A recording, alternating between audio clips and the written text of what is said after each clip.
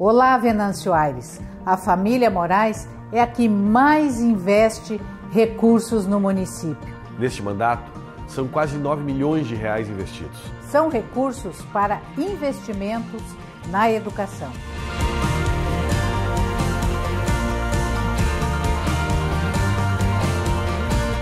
São investimentos para melhorar o atendimento na área da saúde.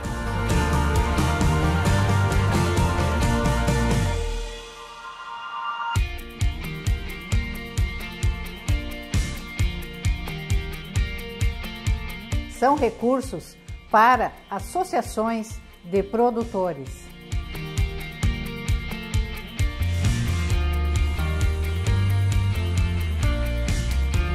São recursos para investimentos na infraestrutura.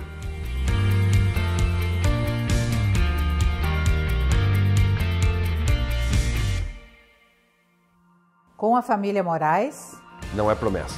é compromisso e resultado.